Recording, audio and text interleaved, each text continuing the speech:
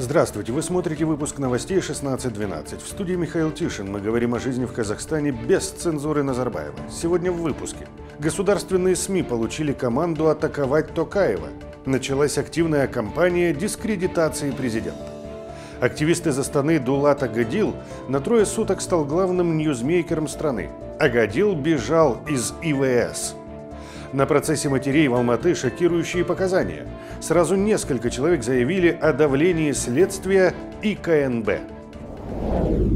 Декоративная активность Акарды достигла нового уровня. СМИ и блогеры получили команду начать кампанию по дискредитации президента Токаева. В то же время Дарига Назарбаева выглядит весьма респектабельно. Несмотря на то, что в Казахстане есть и первый, и второй президенты, государственные визиты осуществляет спикер Сената парламента. Народ Казахстана должен поверить, что Токаев – слабый лидер. Назарбаев выжил из ума, но Дорига остается наиболее адекватной политической фигурой в стране. Токаеву с самого начала в качестве президента была уготована роль мебели. Он должен был скрыть от народа исполнение циничного плана Назарбаева по сохранению власти в семье. Токаев показал, что в Казахстане власть слушает людей и стремится к реформам, но при этом граждан сразу готовили к тому, что Токаев окажется неудачником. Как и все контролируемые оппоненты Назарбаева, он заведомо обречен на провал. Планирую конкретно заняться решением острых социальных проблем – оказанием помощи наиболее нуждающимся. Правительству поручено подготовить меры для достижения ощутимых результатов в этой сфере. Но затем Назарбаев выступал с совсем другими заявлениями, что граждане должны сами о себе заботиться. Мне дай, у меня много детей, у меня мало зарплаты, дай. Так а ты о чем думал? Это же твои проблемы. Ты же с государством не советовался? Когда-то. Токаев рассказывал о необходимости политических реформ и развитии многопартийности. Вижу свою задачу в том, чтобы содействовать развитию многопартийности, политической конкуренции и плюрализма мнений в стране. А Назарбаев потом объяснял, что на самом деле главная политическая сила – это только Нур-Отан. Мы говорили, что партия должна активнее участвовать в формировании общей национальной повестки дня. Она должна стать одной из главных движущих сил модернизации, о чем мы говорим.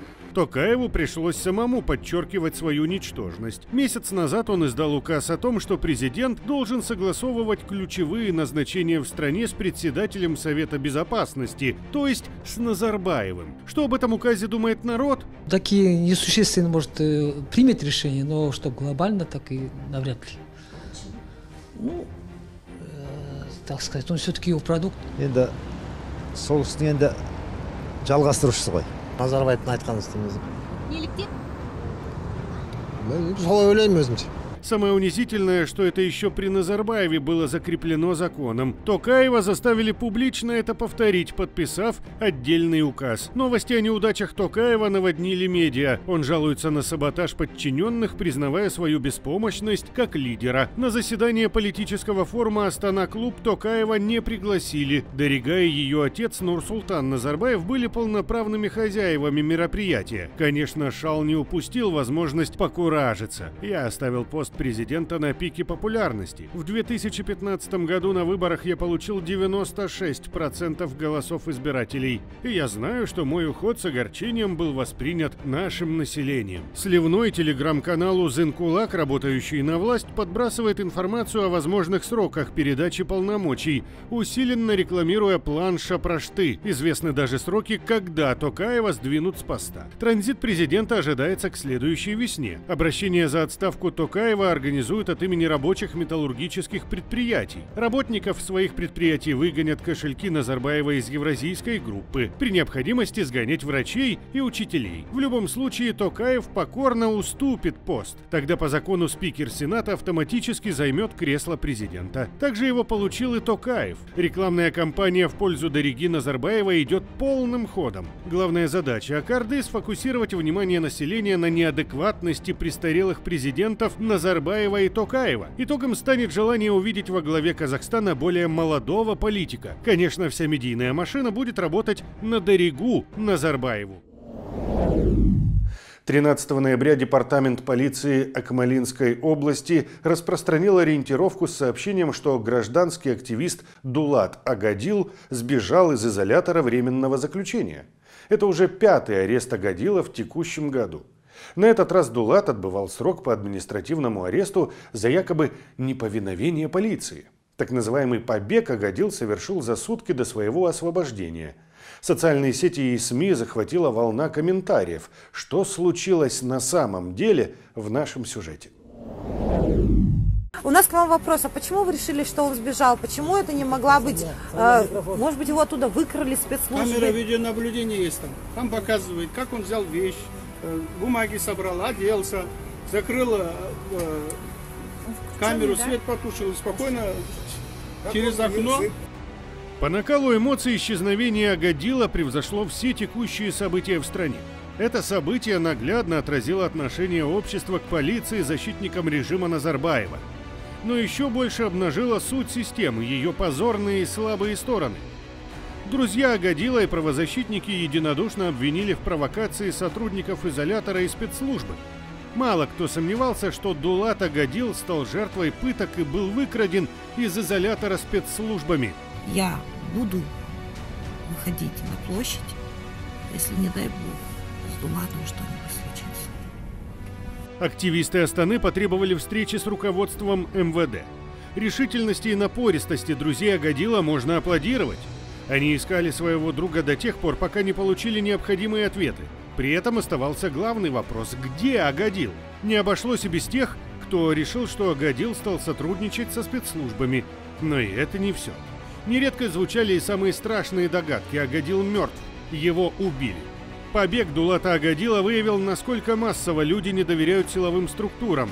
Более того, ожидают от людей в погонах любых преступлений, вплоть до убийств. Но все оказалось намного прозаичнее и удручающе смешно. Это был не побег. Это был акт наглядной демонстрации беспомощности системы. мен соны дәлелдеп бұлар мынау біздің прокурор кмб двдлар айтады сенің шаруаң қанша өзің шаруаңмен жүрсейші біз бәрін контрольде ұстап отырмыз деп мінекей соның контроль қандай екенін дәлелдеу үшін өзіме сондай ой тұжырым келтірдім да сондықтан жаңағы қашып кететін возможностьті болғаннан кейін қашып кеттім қашып кеткен себебім жаңағы мінекей біздің қазақстанның границасының ашық тұрғаны ана жақта қытайдан қашып келіп жатыр қазақстаннан қашып кетіп жатыр. Сол сияқты мінекей сіздер қандай қай қандай деңгейде контроль жасап отырғандарыңызды дәлелдеп беру үшін сіздерге мен сол әдейі қашып кеттім содан. Ә, сіздер бір ивс ке контроль жасай алмай отырған кезінде сіздер қандай контроль жасап отырсыздар границаға? Егер де ана жақтан сайрагүл сауытбай қашып келіп жатса ана екі қандасымыз қандас бауырларымыз қашып келіп жатса одан кейін кеше тағы бір қарындасымыз қашып келіп жатыр. Сол сияқты ол қазақ өткен жерден басқа қытай өтіп жатқан жоғына или болмаса сириядан или ирактан бір жерден террористтер қашып келмей жатқанына біздің границаны кесіп өтпей жатқанына қандай кепіл бере аласыздар? Сіздер кепіл бере алмайсыздар. Себебі сіздер алдарыңызда тұрған ивс қа әлі Дулат Агадил сам сдался, прибыв к Генеральной прокуратуре 15 ноября, утром. Несмотря на самые разные реакции общества и пережитые тревоги, в том, что сделал Агадил, есть смысл – Кроме того, что он обнажил самые слабые места режима, мы увидели, что полиция не считает активистов преступниками. Миллиарды тратят на то, чтобы контролировать действия гражданских активистов, но затем по факту полиция признает их самыми законопослушными членами общества и не считает нужным охранять их в изоляторах. Кто на самом деле являются главными преступниками в стране, известно каждому. Пока вы просто смотрите, в комментариях кипят обсуждения новостей. Поделитесь своим мнением и вы. Подробнее читайте на страницах 16-12 в социальных сетях. По делу матерей вскрываются факты вопиющего давления со стороны следствия и спецслужб на Жазиру Демеуаву и других участников процесса. Содержание в одиночных камерах, люди без имен и званий, кровавый блогер Ренат Кибраев – это не полный перечень мер и участников процедуры выбивания показаний у матери троих детей во время заключения. Следователь Толганай Ержанова сбежала в отпуск. Судья Куралай Дарханова и прокурор покрывают садистку. В зале суда заявили о допросе Мухтара Аблязова. Обо всем этом в нашем третьем сюжете. Процесс проходил за закрытыми дверьми в кратчайшие сроки. Снимать в зале заседания запретили. Тройка инквизиции, состоящая из прокурора, следствия судьи, спешно подводила дело к обвинительному приговору. Свидетелей со стороны обвинения опросить не удалось. Многодетную мать Оксану Шевчук на постой пытались связать с якобы экстремистской деятельностью ДВК и лично Мухтаром Аблязовым. Но женщина неоднократно доказывала, что желание выйти на митинг – ее личная инициатива. Это была моя личная инициатива. Как вот я дома хочу попить кофе, я иду и пью кофе. Также я захотела, да, выступить, там, поддержать политический причем я пошла и поддержала. Только из-за того, как что... оказалось у Облязова на странице это видео, я вообще без понятия. Кто снимал этот челлендж, я тоже не помню. Я сейчас стою здесь перед судом, я понимаю, что многодетная мать ничего такого не сделала. Тем не менее, уже 4 месяца в тюрьме просидела. Но несмотря на то, что Оксана не имеет никакого отношения лично к Аблязову, она даже в суде выражала согласие с программами ДВК. Ваша честь, я поддерживаю, я не отрицаю. Ну, конкретно вот я поддерживаю идеи по борьбе с коррупцией, да, э, по обеспечению рабочими местами, по повышению зарплат и по пособиям. Недоумение у прокурора вызвало название всенародного протеста «Бастандык», на что Оксана со смелостью высказала мнение от лица всего народа. А почему именно Бастандык? Потому что это Чем свобода. Свобода. Не, ну понятно, что свобода. Понятно. Это значит, чтобы вот люди действительно уже, если у нас есть по Конституции какие-то права, чтобы эти права были, чтобы мы могли свободно выходить, высказывать свое мнение, чтобы после этого нас в тюрьму за это не сажали. Потому что если я говорила, я говорила правду. При этом я никого не оскорбила. В зале судебного заседания разразился смех, когда от прокурора поступил абсурдный вопрос о синем воздушном шарике. Во всех челленджах, в которых вы участвовали, везде применяется синий шар. Объясните, пожалуйста, почему именно синий шар? Ваша честь, вот хочу пояснить дальше вопрос, почему синий шар. Потому что это символ мирного протеста. Потому что я держу вот этот синий шарик и показываю всем, что я никому там не желаю зла, ни, ни какого-то беспорядка, еще что-то такое, никому не представляю никакой угрозы. Гульзипа одна воспитывает ребенка, страдающего аутизмом. Чтобы выбить признание, ей сказали, что ее сын уже арестован. Но это не лишило ее смелости говорить правду. сотрудники ДВД, они ошибаются. Э, Они, вот мы как, когда нас забирают ДВД, все, кто вам дал указания, кто, никто нам не дает указаний. Это чистый энтузиазм человека. Просто у него на, на душе накопилось. У кого не накопилось, он не идет. А у кого накопилось, он пойдет обязательно и выскажется.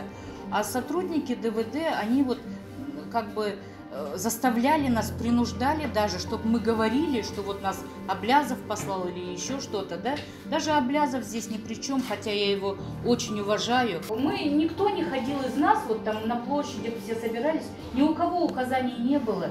Все просто шли, их ими двигало вот это убеждение, вот это желание сказать правду. Крайней степенью выражения экстремизма судья посчитала этот ролик. Он был заслушан в суде в качестве улики. чтобы поддержать э, аутистов, чтобы рассказать всему миру, что есть такая проблема. У нас тоже есть такая проблема. Наш спикер Дарига Назарбаева назвала этих детей уродами. Мы не согласны с ней. Мы за мир. У нас есть выбор. У нас есть выбор. А что такое синий шарик? Синий шарик – это символ, знаете, символ чистоты, воздушности, свободы, наверное. Это цвет нашего флага, это цвет неба. Поэтому во многих странах и синий шарик – это символ именно, который э, во всем мире признали, что синий шарик, он будет си- символом именно Дня аутистов. Следователь Ержанова обманом получила от Джазиры Демеуовой признание в причастности к ДВК. На нее давили, угрожали безопасности детей. Женщина пережила сильный стресс. После 1 мая митинга я удалила полностью телеграм, я больше там не сидела. Но они сказали, раз ты там сидела уже, хотя бы там пару что-то написала или прочитала, ты уже участник ДВК. А кого ты знаешь еще тогда? Я говорю, ну только сам знаю. Оказывается, этим я подставляю не то что себя, но я и отцам, и Кузьяку от того, что я их знаю. Второй день ко мне начались звонки, начались звонки к моим детям, сказать, говорят им, уговорить свою маму, не вздумай менять показания. Потом уже стали посещать меня. Всем очень большое спасибо. Я думаю, девочки присоединятся ко мне. Спасибо вам. Рахмет. благодаря вам всем мы не падаем духом. Мы не сдаем друг друга, мы поддерживаем. Нам не в чем сдавать друг друга. Мы просто говорим правду. Я- И за эту правду нас преследуют. Приговор вынесли без прений, даже не дали последнее слово. Все четверо получили год условно. Маленькая победа общества. Да, большая, когда нас начнут оправдывать. Ну а